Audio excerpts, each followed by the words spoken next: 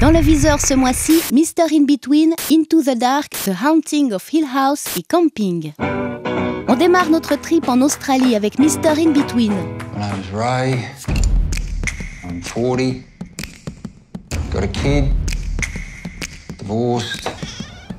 Mr. In Between, une série qui a des couilles mais qui ne manque pas de sensibilité. Ray est tueur professionnel, mais ça ne l'empêche pas d'être un père attentif et un petit ami attentionné. Et il est doux avec les animaux. Violent et hyper froid dans une scène, puis souriant chaleureusement la seconde suivante, Ray est un homme sur qui l'on peut compter. Mais mieux vaut ne pas être sa cible, car il rate rarement son coup. Le thème n'est pas neuf, il a même déjà été exploité cette année avec l'excellente Barry de Bill Hader. Hey man, are you seeing this beautiful morning? Toutefois, la série australienne s'en sort avec une bonne moyenne. Les personnages secondaires sont sympatoches, l'acteur Scott Ryan est aussi flippant que marrant, et le mix entre violence et humour s'avère très distrayant. Do you think that you've got an anger problem?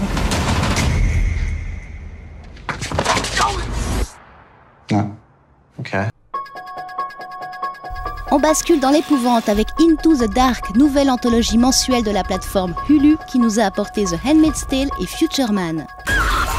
Une fête et une histoire effrayante différentes chaque mois racontées sur une heure et demie. La première, The Body, se déroule durant la nuit d'Halloween. Un tueur à gages, encore un, doit transporter l'homme qu'il vient d'assassiner à travers la ville. Are you like uh, the British American Psycho or something? Son look de natural born killer plaît et attire les foules, ce qui complique passablement son job, surtout lorsque la situation part en couille. Malgré ses promesses, la série s'avère peu excitante et mollassonne. La première partie est trop lente, le personnage du tueur est insipide et la trame pas très originale.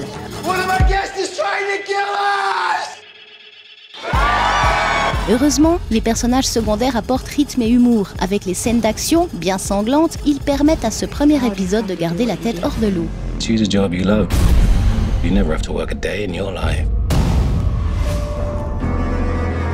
On reste dans l'ambiance horrifique avec The Haunting of Hill House, une série proposée par Netflix. I'm scared of the dark out there. Cinq frères et sœurs ont passé une partie de leur enfance à Hill House, une vieille demeure hantée qui les traumatise encore 30 ans plus tard. Entre passé et présent, on va découvrir ce qui est arrivé à la famille Crane à l'époque tout en les suivant aujourd'hui dans la vie qu'ils tentent de gérer avec plus ou moins de difficultés. It's that house. Mike Flanagan, créateur et réalisateur de la série, a très librement adapté ce classique de la littérature gothique américaine en plaçant une famille au cœur du récit. Et c'est une excellente idée puisque la série ne relève pas que de l'horreur, c'est avant tout un drame familial subtil. What if I dream that you sent us away? Into the dark and me get hurt? Really hurt. Touchante, bien flippante par moments, parfois drôle, The Haunting of Hill House est une réussite. Mike Flanagan, grand fan de Stephen King, maîtrise son sujet. Sans forcer le trait, il parvient à installer une atmosphère anxiogène qui nous hante encore bien après le visionnage. Et on termine avec une déception, Camping, Hi, checking in. le remake d'une série anglaise coécrite par Lena Dunham. Proposée par HBO avec Jennifer Garner, David Tennant et Juliette Lewis, la comédie avait de quoi séduire sur le papier. It's nice to get away and unplug. Catherine organise une virée à la campagne pour célébrer le 45e anniversaire de son mari. Mais ce qui devait être un week-end sympathique entre amis vire au règlement de compte.